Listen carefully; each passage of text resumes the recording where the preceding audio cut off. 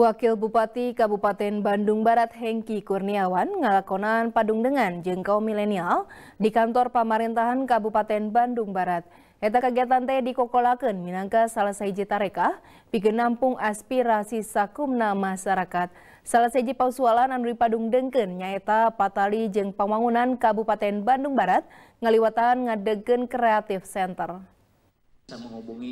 Pikeun nampung aspirasi masyarakat Wakil Bupati Bandung Barat Hengki Kurniawan ngalakonan ngopi bareng turta padung dengan jengkau milenial pikeun kemajuan pemerintah daerah. Dina eta kagiatan teh Hengki Kurniawan minta ide atau aspirasi katali kana rancang di adegeunana Kabupaten Bandung Barat Kreatif Center. Kabupaten Bandung Barat Kreatif Center, nah saya ingin teman-teman anak muda itu menyumbang ide kira-kira di KBB uh, Kreatif Center ini mau diisi apa aja Tadi sudah beberapa ada yang menyampaikan, kemudian termasuk keluhan-keluhan apa yang atau mimpi-mimpi apa yang selama ini tidak terakomodir.